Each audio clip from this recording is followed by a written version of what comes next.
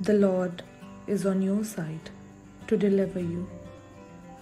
You simply need to stop and look to recognize the salvation that the Lord is bringing you today. He will argue your case. God wants to provide you with all of the benefits you require.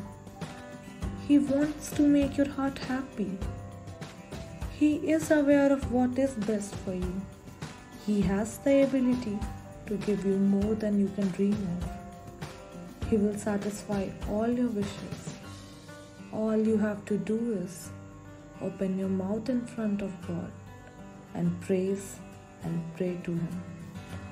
Then the Lord will lavishly bless you.